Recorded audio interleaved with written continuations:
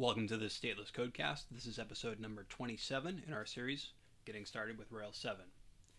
So, this is probably going to be the last development episode of this series. We went through the Rails guide and then we had a few more kind of bonus type episodes where we went into some functionality that's not in the Get Starting Getting Started guide, but is something that you would want to use while you're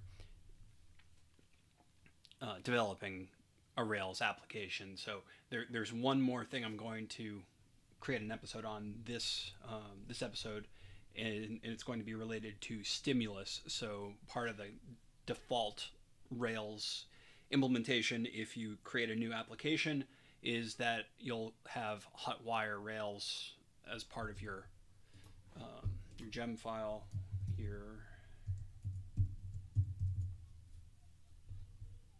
So um, Hotwire is essentially a combination of um, uh, that they're separate things. So um, Turbo Rails, which we've done some and, and, touched on some in our previous episodes, uh, particularly as it relates to uh, getting confirmations to work with Rails 7 that are a little bit different than Rails 6 and earlier because uh, Rails unobtrusive JavaScript is not a default dependency in Rails 7 if you create a new application.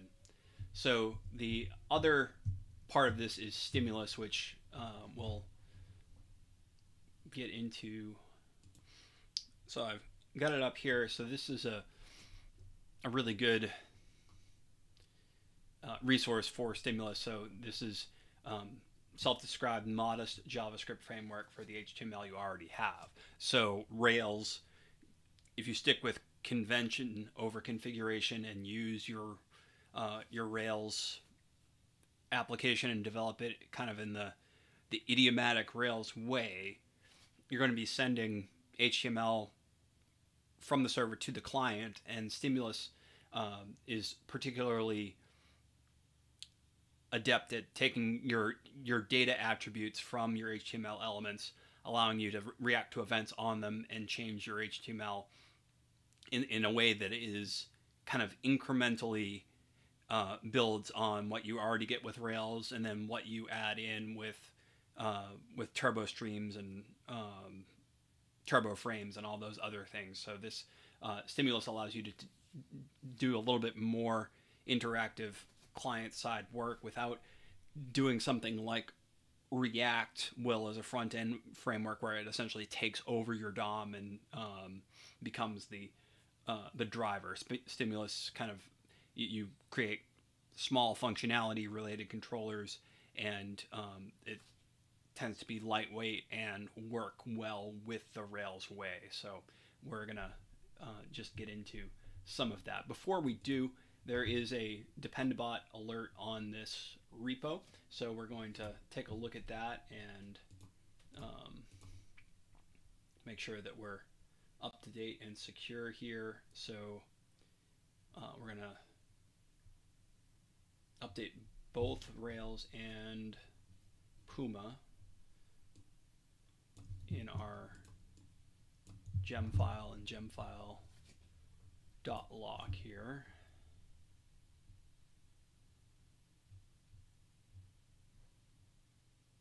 So actually we don't need to update it other than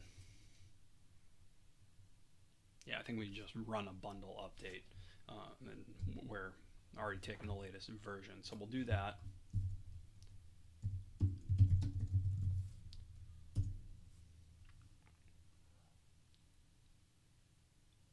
We'll take a look at the various things that got updated. One of them was the import maps and stimulus. So um, it's a patch update. I don't expect any of this to be breaking changes. But now we'll start getting started with stimulus in our application. So we're going to use the, I'm going to fire up the server here.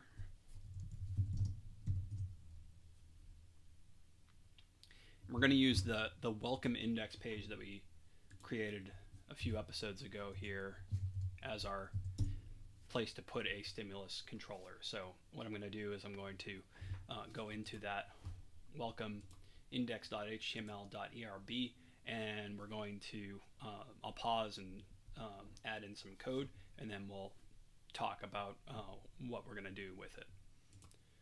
So right now we've got just a div here. It's going to be containing an h5, um, a um, a paragraph that will have a quote, and then a button called get next quote, a button called reset. All this right now is static, so we're just sending it over from our uh, our view to the browser. So we click on this button, it doesn't do anything. We click on this button, it doesn't do anything. The um,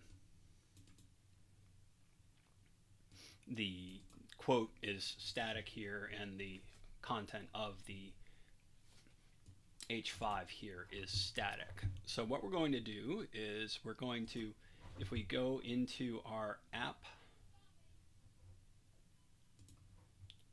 JavaScript controllers here, so you can see we've got a hello controller. So this is where um, can see the um, by default where the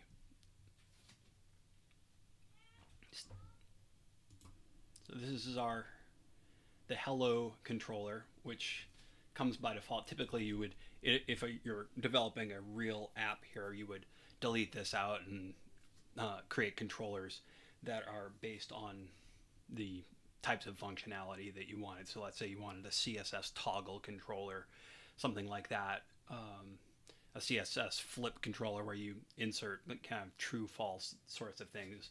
Uh, Stimulus works really well with CSS frameworks that are class based, like, say, Tailwind, where you can um, trigger an action off of an event, uh, add, remove, CSS classes and get um, changes to how your the, the look and feel of your application.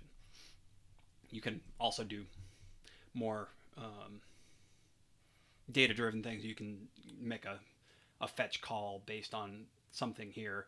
You can um, do uh, integration with Action Cable. Uh, what we're going to do before we make any changes to this or include it in anything, we're going to we've been following a test driven approach here uh, as we've been going through the getting started uh, with Rails guide and some of the other things. So in because this is going to be client side functionality, the tests here are going to have to be in the application system test case. Um, kind of system tests that use the um, Selenium and the, the browser driven stuff. So we're going to create a new file here we'll call it welcome test.rb. I'll pause and populate this with some stuff. So right now I've got a uh, I created a welcome test inheriting from application system test case, similar to how our articles test did. And then we've got one test, uh, stimulus interaction works. Uh, right now this is going to fail because I'm, I'm going to wind up changing the uh, the content here, but we'll um,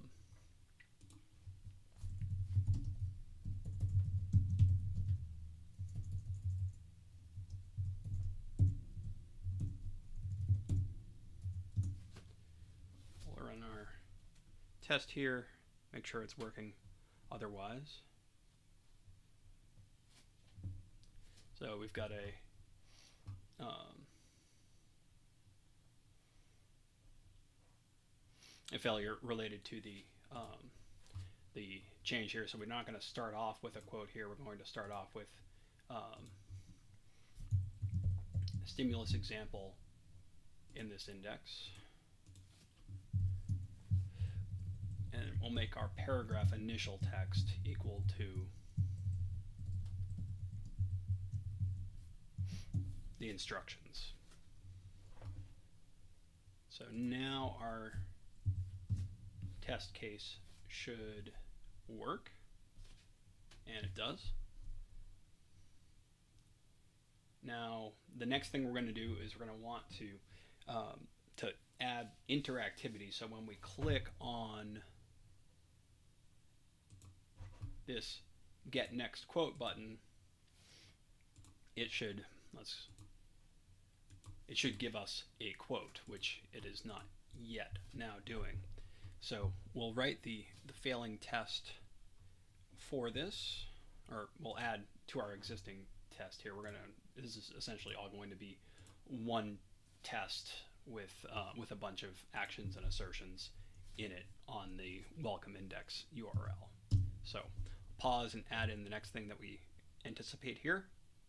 I've got in our next failure here, so I'm going to click on get next quote, and um, I should expect the text to uh, to now have um, Mrs. Peacock was a man slap from Clue. So we'll uh, and then we'll assert not text here because it should be replacing our text. Is it not? I think it's no text in. Yeah, no text.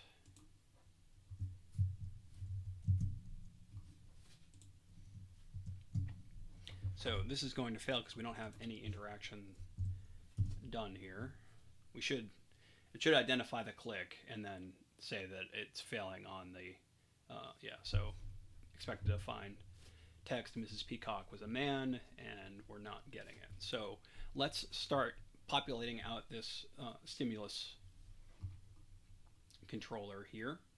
So we're going to, um, in the index here, we're going to, in the parent div that contains all these elements, we're going to do data dash controller equals hello. And we'll see what happens here. Remember, we haven't modified the hello controller yet. So um, when we refresh our page, this should actually all go away, we would anticipate, and be replaced with uh, the hello controller default behavior. So that's what we see is hello world. We go into the hello controller now. So right now we've got one um, method. It's called connect, and um, it takes this dot element dot text content and makes it hello world. So that's getting rid of all of the, uh, replacing all of the HTML, inner HTML of that div. So all of our um, H5 paragraph button, all that stuff winds up being gone. If we go and change this to comment it out, we're going to get our content back here. But right now, it's not yet doing anything. So let's see what we can do to um, to get some interaction here. We're going to um, start by making this this paragraph here a a target of uh, stimulus. So we've got our um,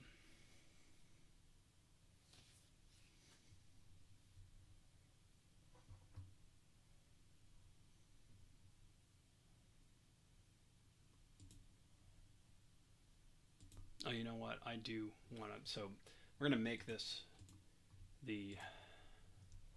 Let me go back and refail my test here. So this is going to be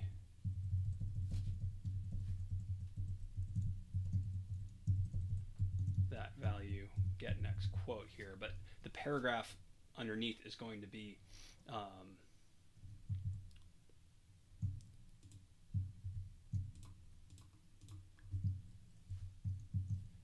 let me think about there'll be two paragraphs here, so I'm going to also want some information about the uh, the number of quotes remaining. So I'm going to keep the heading, and then we'll have the quote, and then the the number of quotes remaining here.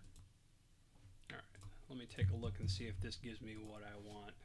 I'm going to create more than one target just so that we're able to um, to specify here. So that should be fine. We'll go back into our welcome test here. Um, so this uh,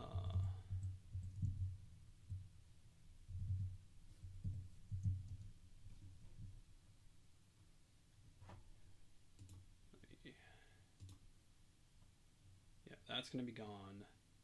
Stimulus example is going to still be here. And then we want text about how many quotes are remaining. All right, so this is the new situation. So we'd ex expect the text in our number of quotes to go down after the click happens, and then um, we should no longer see the um, the get next quote behavior. So we'll go back, rerun our test, which should fail. But it's failing at the same place that we had before. So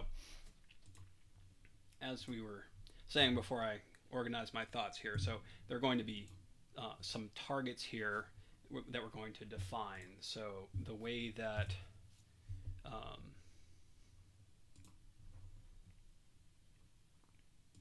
stimulus works here. Uh, we're going to declare a static variable with our targets here. So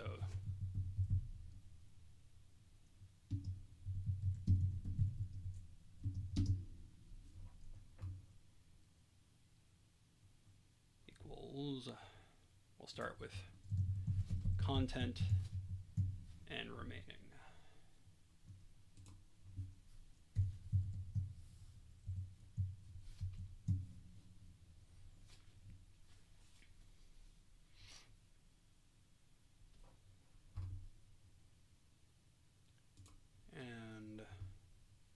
I'm also going to add targets for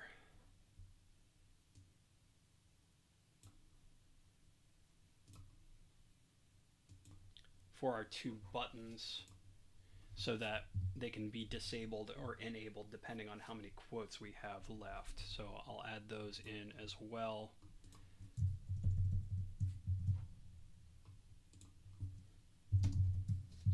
Next button and a reset button. I'm going to uh, start off with the uh, make add an assertion that the the reset button will be disabled when we start.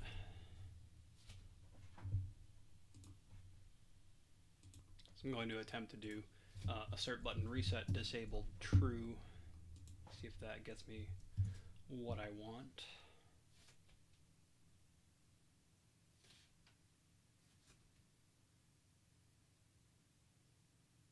So it's looking for a button reset that's disabled, but there is no. So we'll we'll um, we'll make this start off as disabled in the for, at least for right now. Make that pass again.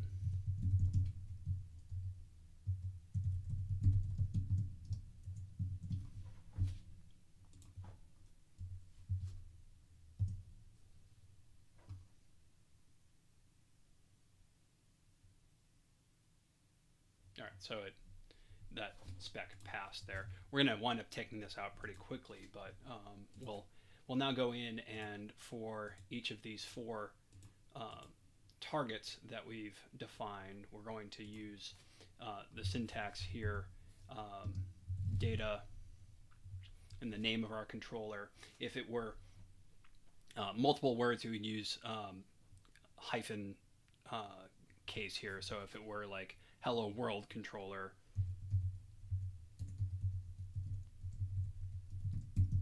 Like that, and then equals. Um, so it's only hello. And this is our content.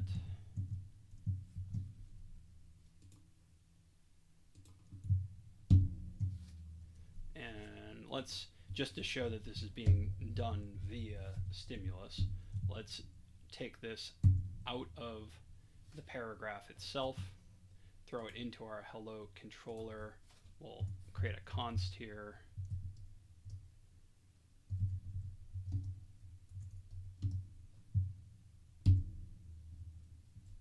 We'll actually put it in quotes.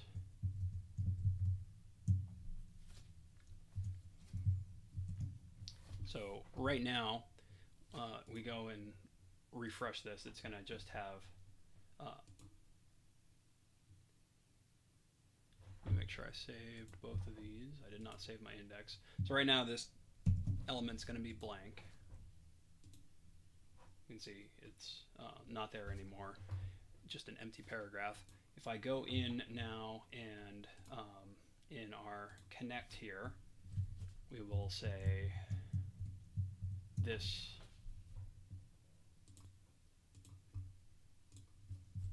dot content target. This is going to be in camel case. Dot text content equals intro. So this should get us back to um, to where we were.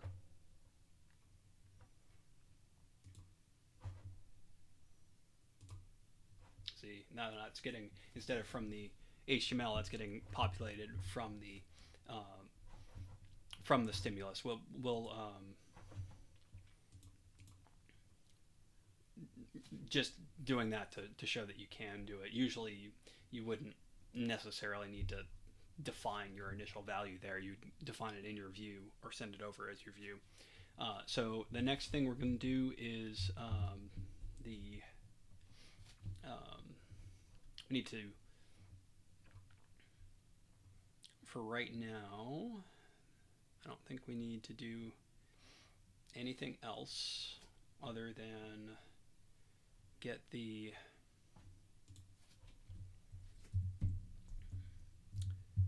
so we're gonna hard code this um, to begin with um, to make the, the button work here. So the um, the get next button we're going to now want to oh the other, the other thing I'm going to do is make this uh, disabled come from the um, come from the controller rather than um, having it be in the HTML attribute. So I'll also do that. In order to do that, I need to make that the reset button. So we'll replace disabled here. Data hello target equals reset button.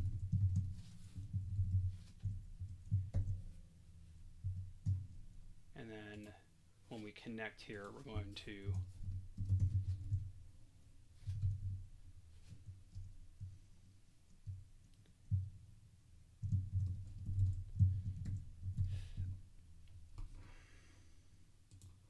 reset button target dot disabled equals true.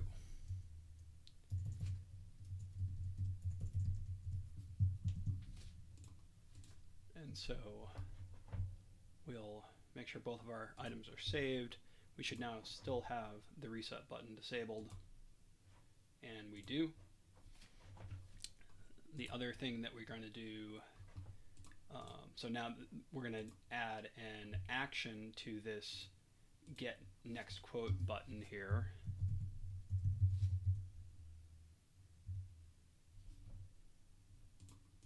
And this is a little different, so rather than uh, having the controller as part of the action, it's just data action equals. And then you have the name of the event, so in this case, click should have um, the name of your controller, so in our case, hello, and then pound sign, and then the um, the name of the method you're going to call on that action. So um, we're going to, for right now, have that, um, we'll define that next quote action on our hello controller.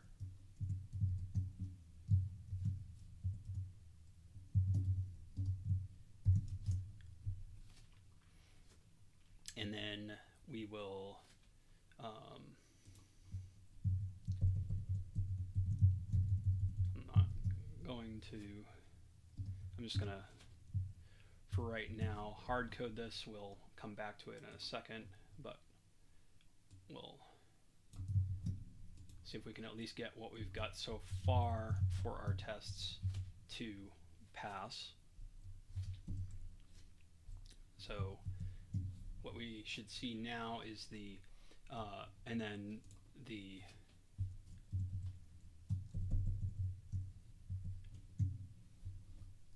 reset button disabled should now be false.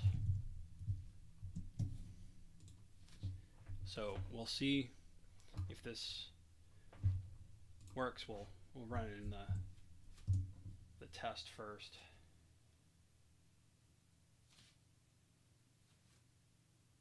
All right. Oh, but we have not changed. There are five quotes remaining. So it made made it to that point.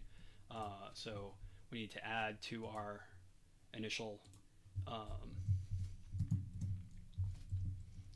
um, portion here the um, to the six quotes remaining.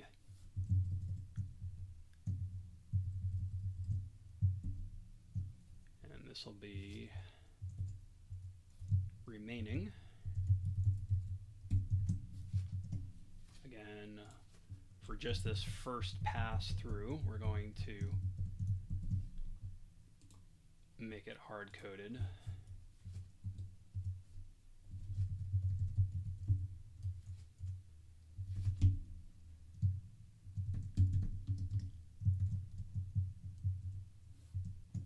There are five quotes remaining.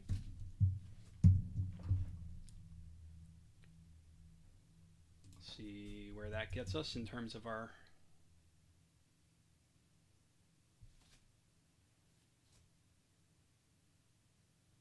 I don't think I saved it.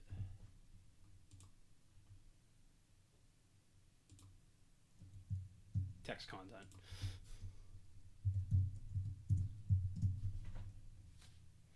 I just turned it into a string rather than a DOM element.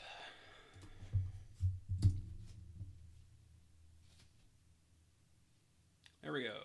We've got our simple hard-coded text content uh, section passing here.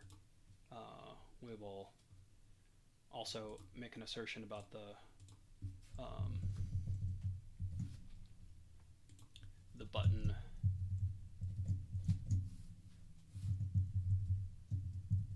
without it being disabled.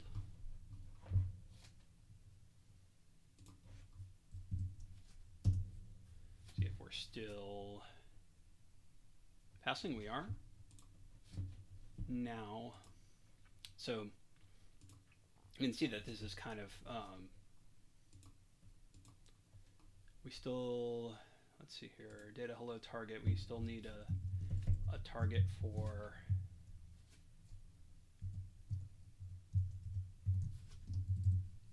our next button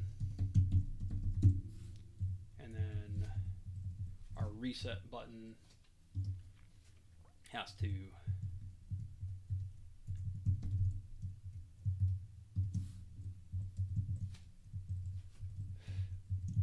take an action here.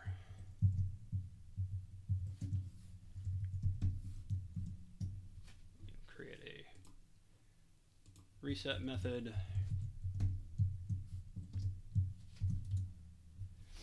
We are going to move what we had in the connect section here to the reset section and then on connect we're going to call this dot reset.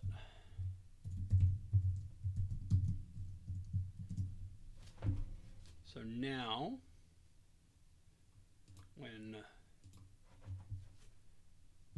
I do this we should have essentially a toggle situation so the get next quote adds there's nothing no other action when we do this. It changes it to that hard coded value. But when we click reset the uh, reset button should become disabled again and it should go back to our initial state. But it is not defining the number of quotes we have remaining so let's fix that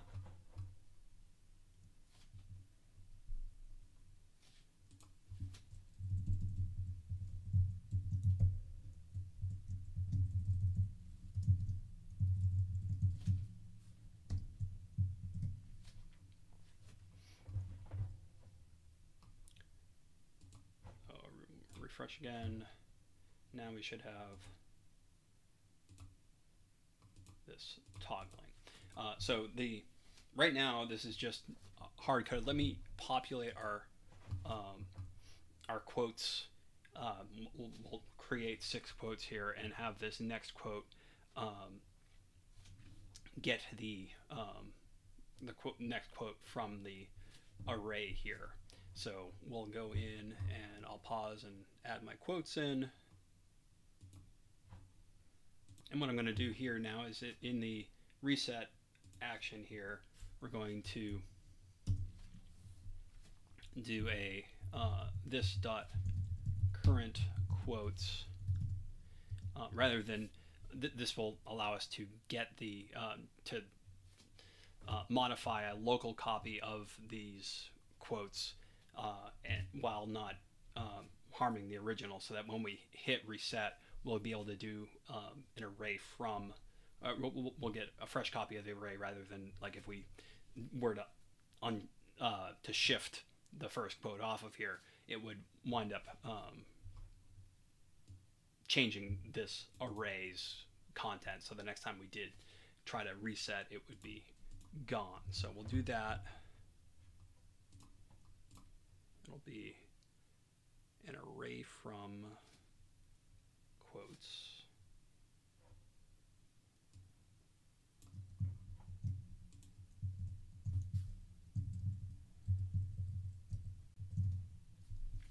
And then our, we're getting a little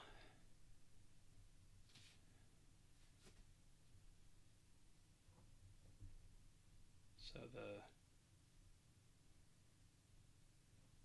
the remaining some of this stuff is going to be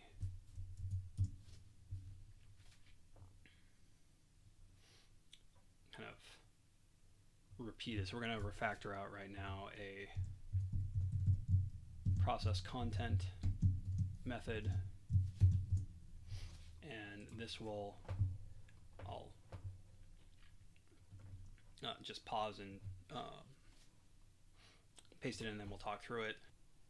So what we've got is this, um, the remaining target um, text content will now become, there are um, number of quotes left remaining, quotes remaining, and then the um, the next button and the reset button will be determined based on whether the the current, current quotes length that we've got is equal to the const quotes here length that we have.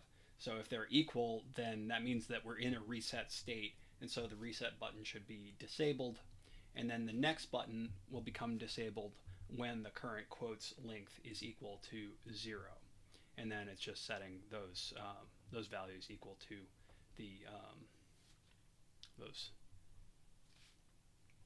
um, constants, which I probably really don't need.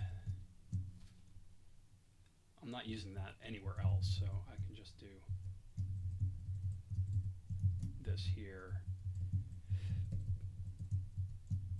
And here makes it a little bit more concise.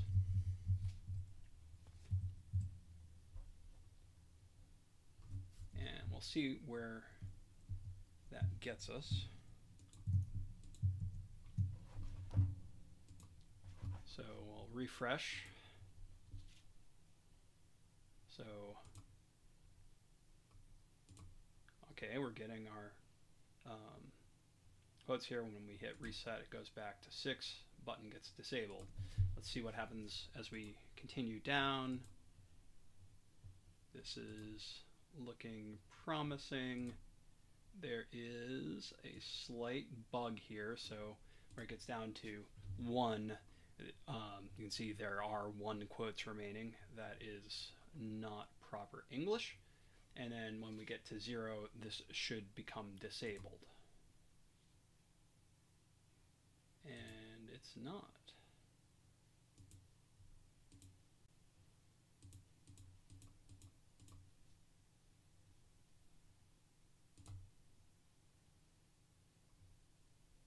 Let me check out our code here equals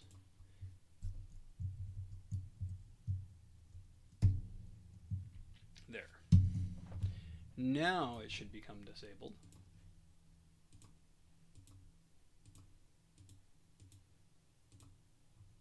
There we go. So the zero quotes remaining, this becomes disabled, and then we get reset into the state. So this is, other than our number of quotes remaining, this is working. Let me, um, I'm going to go back to our test and add some, uh, some more interactivity here. So I'll pause and add some more um, clicks and stuff like that. All right, so before I really get into this, I'm gonna I refactored out some of the the common uh, assertions that we'll see. So for the reset state, we had up here uh, all these lines here that we're testing for. I moved this here so that we can um, repeat these assertions without just copying and pasting the code over and over again. And then we've got the um, end left assertions, so the number will be um, what we've got there, and it's after you click. So the um, the index will be um, kind of five minus that number that we have left, um, and then it will uh, assert that we've got the quote there. I just copied the uh, the quotes that we have to match what we've got in our JavaScript controller. The um, and then it's going to assert that the correct quote is there. Uh, the number will be um, will make it dependent. So um, if there's uh, any number other than zero or one left, um, it'll just be this base text, um, which I need to assert here.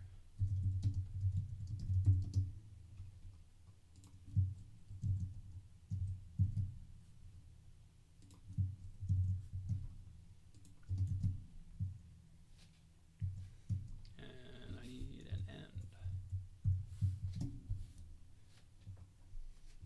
So there is zero, it has this base text, and then it adds in click reset try again. And then when we um, have one left, I'll say instead of there are number of quotes, there'll be there is one quote remaining. And then um, if any time else, it'll just be that uh, base text. Um, we're asserting that the, um, the stimulus te- text isn't there. Uh, and then we're asserting that the reset button is there and that it's not disabled. And then the get next quote button, the disabled value will only be true if the number is equal to zero. So let's see if we've got uh, parity before we start adding new assertions. I've got a syntax error.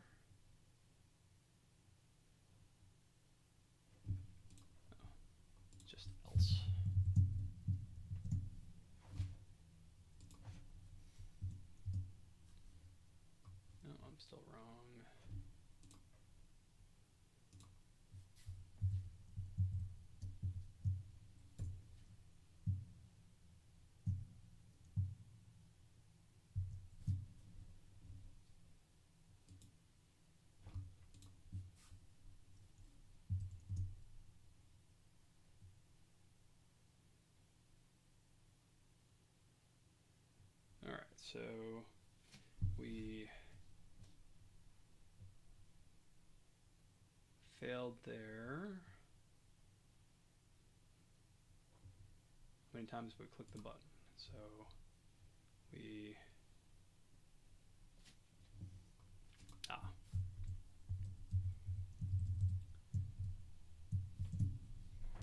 that indicates that extra one that we've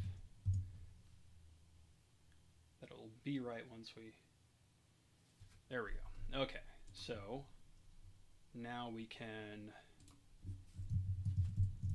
do this. We'll go for three. We will click on reset and we'll re-verify our reset state assertions and then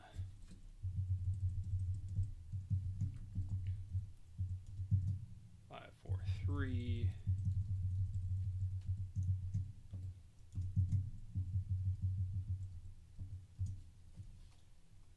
two one zero and then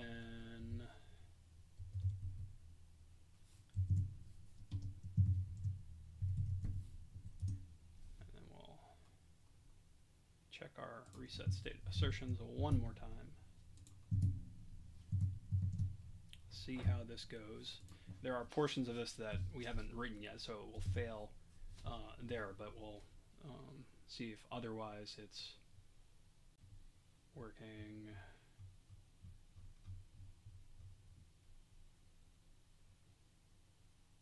On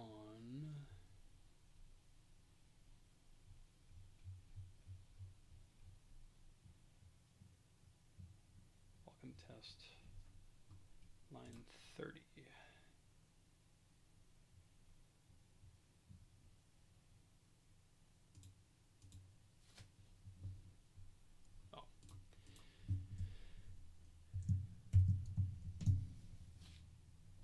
have an underscore. So I expect that it will get down to 1 and then fail because we don't have the agreement. There are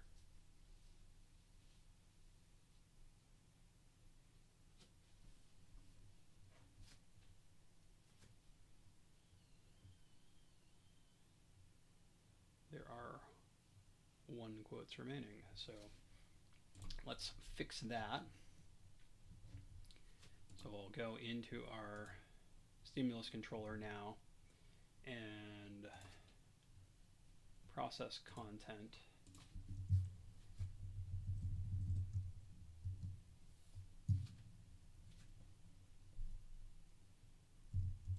Dot set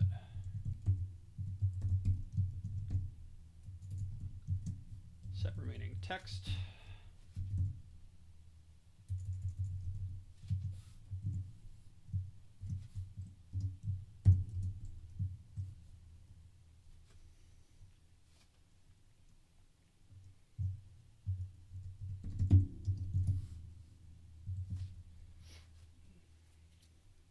will pause and write this in.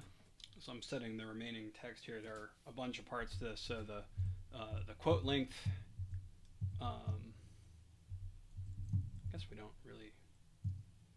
Eh, we're using it twice, um, three times. So the uh, the pluralized will be it's equal to one. It's quote. Otherwise, it's quotes.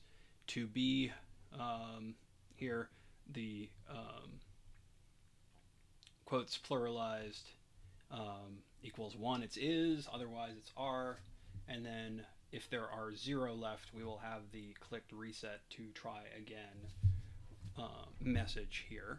So let's take a look at our stimulus controller in action. Oh, we are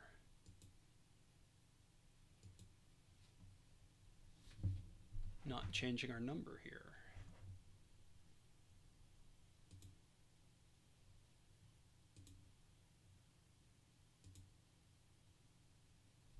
What did I break?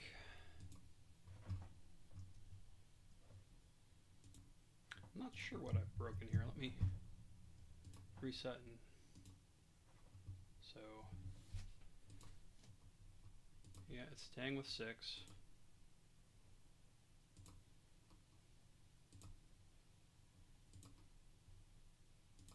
Reset button is not working correctly.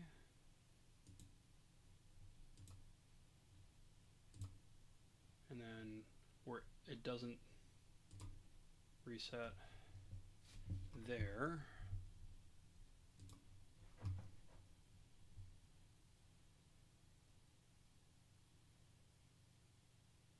So next quote is doing that. Process content remaining sets remaining disabled sets disabled.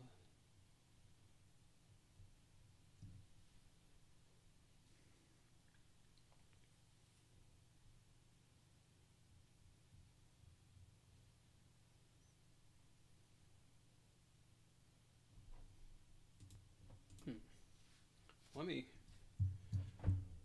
see. It's not even going to make it to the next.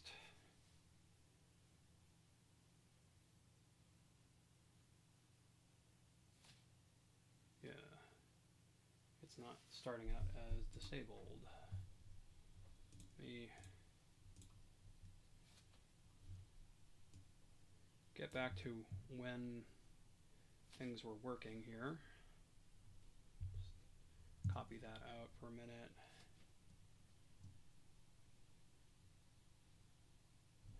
I have a console error. I might have a console error. Assignment to constant variable. That's my problem.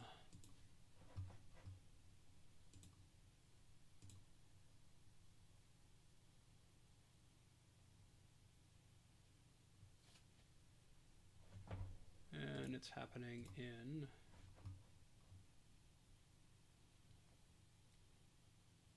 thirty-nine.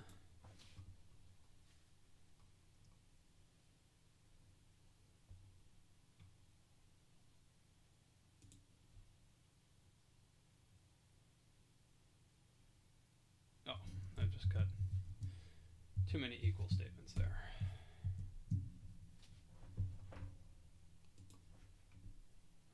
Assignment statements, to be more precise. Okay.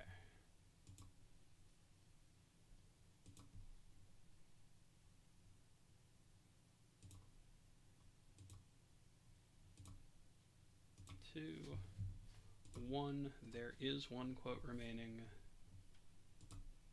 And then this is now disabled again. Our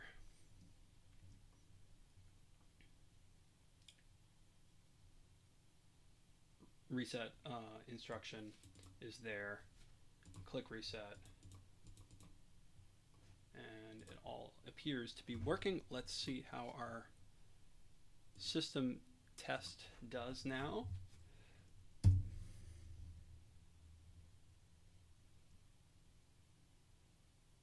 We are golden. Let's run all of our tests.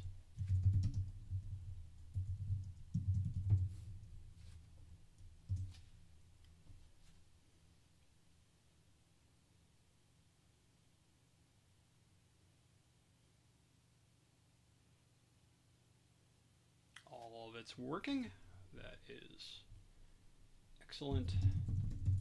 Let me take a look at our um, changes here. So the gem file lock, we just updated our uh, at the beginning of this video the uh, the bundle to deal with the dependabot alert.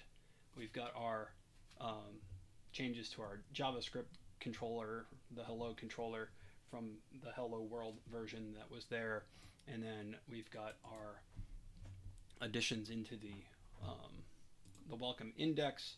Uh, let's make one more change and get this similar to the other one. Well, since we're um, we're setting that dynamically anyway, that should still all pass.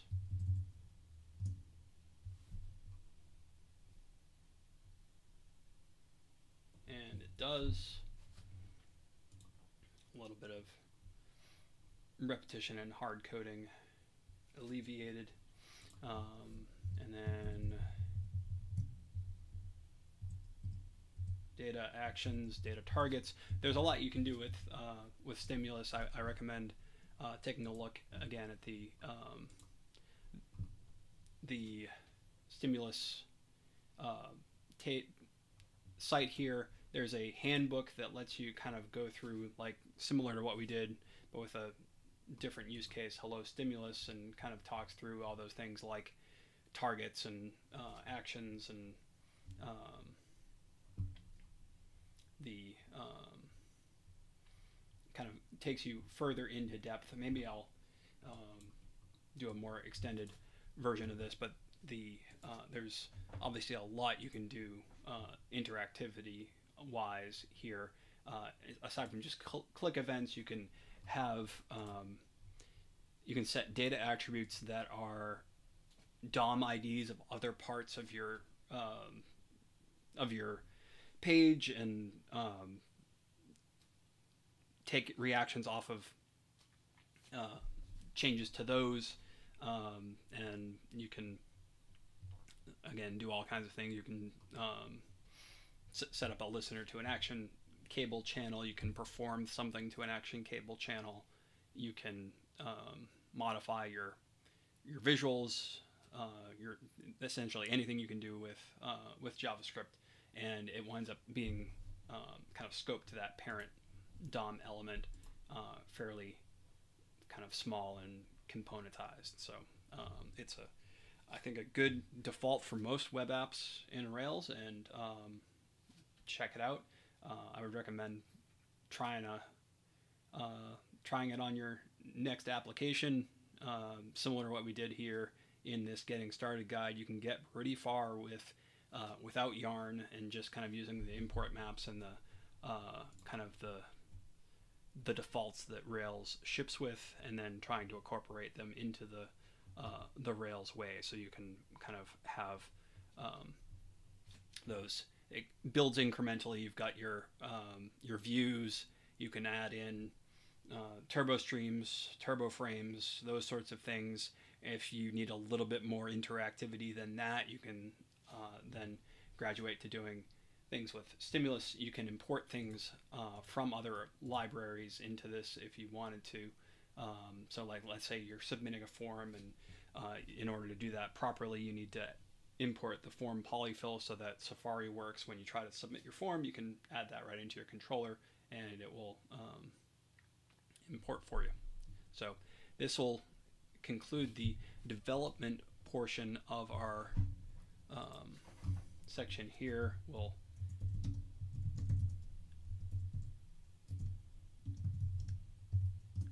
add and commit our code, write our message. I got my commit message. I will push it to the remote. See if that resolves our alert. It does. And we will see you in the retrospective. Want to create your own Ruby gem but don't know where to start? Code along with me on the end to end journey of the Nerd Dice project. We'll configure and publish the gem, use GitHub Actions to trigger builds and tests, and create magic methods with Ruby metaprogramming that can roll any number of dice, all while using a test driven approach. Go to statelesscode.com slash nerddicegem to level up. Thanks for watching this Stateless Codecast. Be sure to like, comment, subscribe, and spread the word. You can follow us on social media at Stateless Code. Until next time, keep coding and don't aggress against peaceful people or vote for others to do so on your behalf.